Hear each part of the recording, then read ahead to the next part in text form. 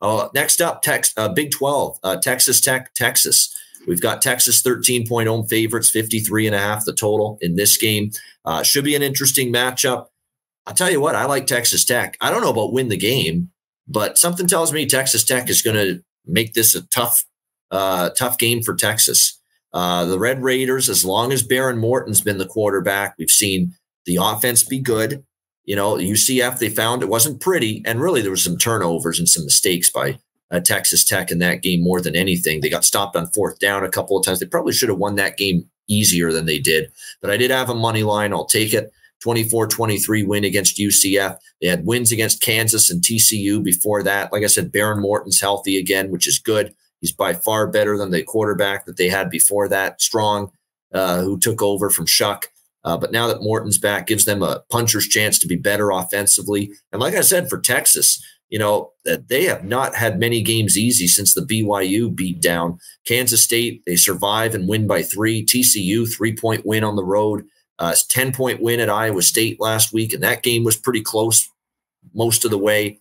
Texas is not one of those teams that's executing at a high enough level right now where, yeah, let's lay almost two touchdowns with them uh, against a solid Texas Tech team. So, Red Raiders are nothing for me in this price range. Uh, what do you think here, Conor? Yeah, and this, yo, last year, Texas Tech, I beat them, I believe, right? Because a couple years before that, I remember that 70 to 30, 35 game. 37 was, 34 Texas Tech in overtime last year. It was a classic. I remember it. In OT. And these games, for the most part, have been a ton of points. And then the last few games, I know Kansas Bean goes out, but last week, the UFC uh, UCF game stays under. Texas offense just has been flashy. Rocco Becht threw it. They couldn't run it on Texas, you know, last week. Um, and they probably should have covered that game, but Texas gets it done. I think this is a bit too many too. I like this maybe a little bit more over the two touchdowns to look Texas Tech's way. And the totals dropped because of that. What I mean, you know, at 52 and a half, this seems a little bit different, but Bano, this would be near the 60. It's not right now. So one I got to dig into a little bit more, but I got to side with the points as well. I don't, right now, I don't want to lay points with Texas. Yeah, I might get there with the over, especially the look. The one concern is look, Texas hasn't been running up big points lately.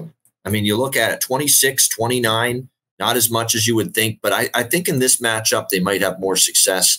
Uh, and Quinn Ewers is starting to get you know better in, with each game since he's been back uh, from when he missed those couple of games, and he had a pretty solid, efficient game. And he, for the season, he still has 21 touchdowns and just four interceptions.